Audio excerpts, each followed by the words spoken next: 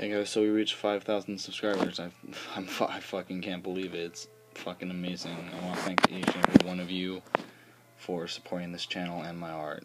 I, it, it means a lot to me. Thank you. Um, so to celebrate, we're going to be doing another Q&A, which I haven't done in a very long time. Um, just comment down below a question, and in like a week's time, I'll have the answers out. Um, the only rule is um, don't ask for art requests because I mean I have separate videos for that, and I'll have one of those videos Monday, so it's for the new month of March.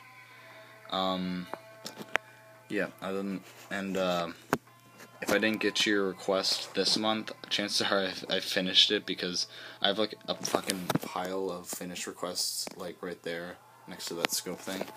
Um, so yeah, I'll chances are they might be done. Or if I didn't, just comment them down below again. And because I usually like post an actual drawing on Wednesday, here's the fucking egg that everyone's been posting in my Discord.